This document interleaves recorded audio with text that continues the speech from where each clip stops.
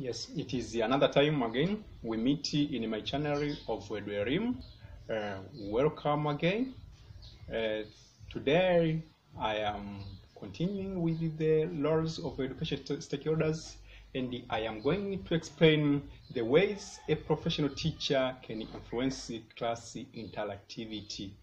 Uh, I have prepared five ways which should be followed by a professional teacher so that the class is interactive when teaching. The way number one is the mastering of the subject matter. Mm, Any teacher, every teacher is required to master the subject matter before entering in the class. Uh, this will help him or her to solve the difficulties which students meet in the particular concepts which will be taught. Also, it will help him or her to maintain the trust from the student and uh, stabilize his power to the students. Um, on this, I remember when I was in first year at Sokoine University of Agriculture, in one course known as Principles of Education, which was taught by Professor Ernest Kira, uh, he said that if you know that as a professional teacher you have not prepared for the subject matter of the particular lesson on that day it will be better if you don't go to teach.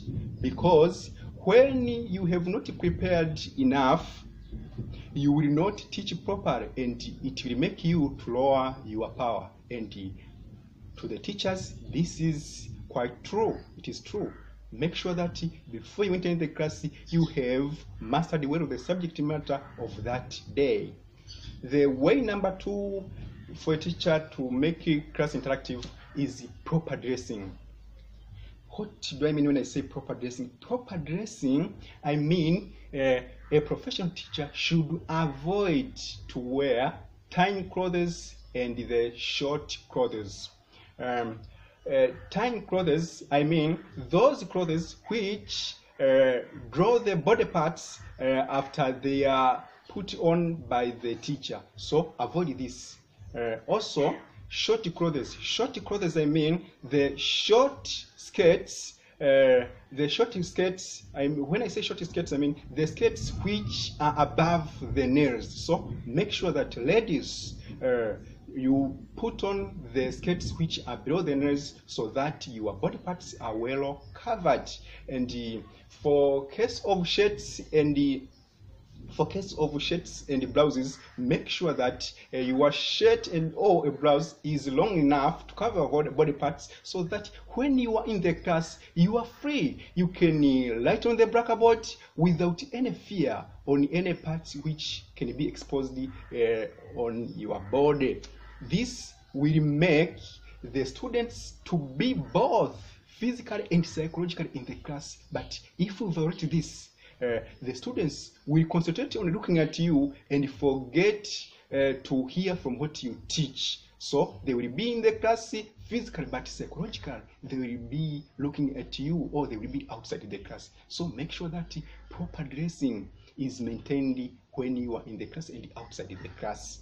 Okay, the way number three, uh, a professional teacher should be capable to integrate the science and the art skills. The science and the art skills. When I say science skills, I mean a professional teacher must be able to apply the research findings on how to select the respective content, the required one, the wanted one, according to the particular group of learners. But when I say the art part, the art part of teaching, it is the capability of a teacher to make the class warm and al- warm and alive, and also to make it interactive. Uh, this can be achieved through different ways. Uh, and it depends on the creativity of a teacher. Uh, for example, you can find other teachers are capable to sing the songs when in the class or to to tell the student to sing the songs or to tell the stories. All of these are different artistic skills which a teacher must have to make the class alive. Have you seen? So a teacher, make sure that you integrate the art part and part uh, of your teaching. Okay, the point number four is to avoid discouraging statements.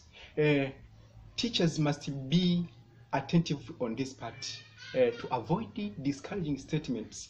Um, these discouraging, st- the examples of these discouraging statements are like that. You can find a teacher um, approach to a student who is trying to answer the question. You students, that is that is a stupid idea. Sit down. When you tell a student that what he or she is speaking is a stupid idea, that student will not try again to ask the question in the class in your or foreign lessons. So observe this. Avoid the discouraging statement like this. Or you can find the other teacher speaking that regardless to the student, regardless your efforts, you will not pass the national examination. This is not good. Or you can find a teacher majestically speaking that I hate this class and you will not get my help. That is not good. Or you can find a teacher speaking whether you come in the class, whether you don't come. What matters, I get my salary. What? That is not teaching. You are not a professional teacher. A professional teacher must in, must avoid all of these discouraging statements. Your role is to encourage a student on how to study so that he or she can reach his or her goals, and not otherwise. The last way, the way number five, uh, in which a professional teacher should behave is to avoid labeling students. To label students, I mean to use their physical appearance instead of their names. Some teachers tend to call the students based on their physical appearance and leave aside their names. My friends, teachers, make sure that you use the names instead of the physical appearance of the students. For example, you can find a teacher call a student oh, call a student you white you black you tall you short man you beautiful you handsome. Answer this question in the class. That is not good. That is not good anymore uh, so make sure that you call the students by names because when you use uh, these labels it can make some students to feel that they are not considered and they are tortured. So don't try to do this. If you you have done it just leave it. Make sure that you call the students by their names and don't label the students. Okay? After saying those five ways through which a professional teacher can enhance class interactivity the point number one uh, he or she should master a subject matter before entering the class point number two proper dressing point number three the integrating the art and science skills. Point number four, avoid discouraging statements to the students. And the last point, which is point number five, avoid labeling the students. Uh, after observing those five points, I am sure that if you put them in practice, you will be a professional teacher. So, teachers, be professional. Teachers, I beg you to be professional. I beg you to be professional. Thank you for following my sessions and make sure that you subscribe to my channel so that you can get update on time. Uh, I invite you again in the following sessions and before I say bye, I remind you that in Eduelimu channel, it is where you will get the all issues about educational guidance and counseling. Thank you. Don't miss the next lessons. Bye.